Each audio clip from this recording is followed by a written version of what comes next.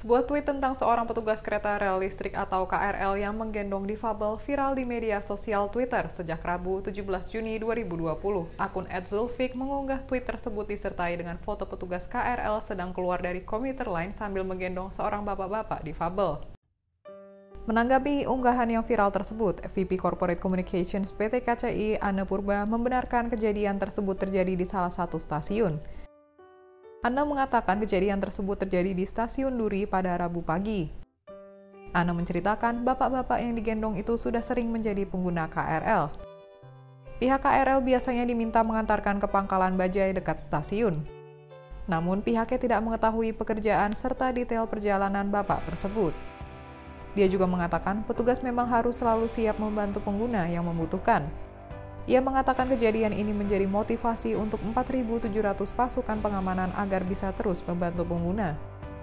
Petugas KRL di Twitter tersebut mendapat banyak pujian dari netizen.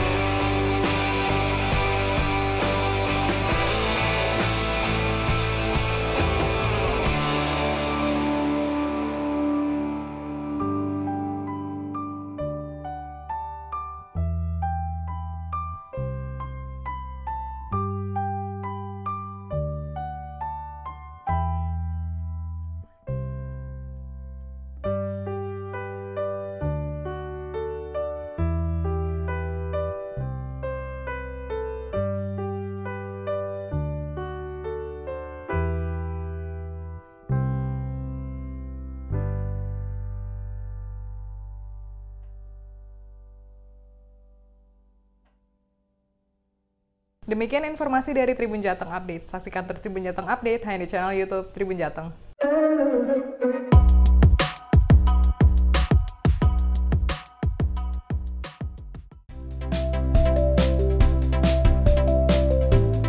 Jangan lupa subscribe ya.